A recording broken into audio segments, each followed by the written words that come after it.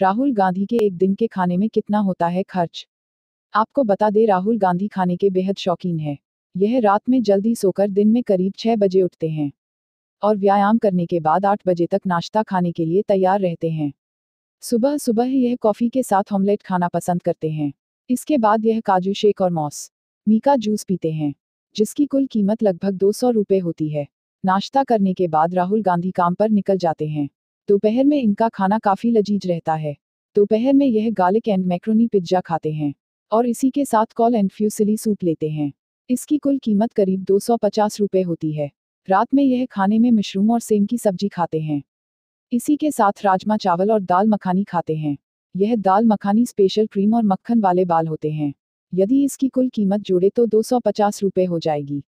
इसी प्रकार यदि राहुल गांधी के पूरे एक दिन के खाने का खर्च जोड़े तो कुल मिलाकर यह छह सौ पचास रुपये हो जाएगी।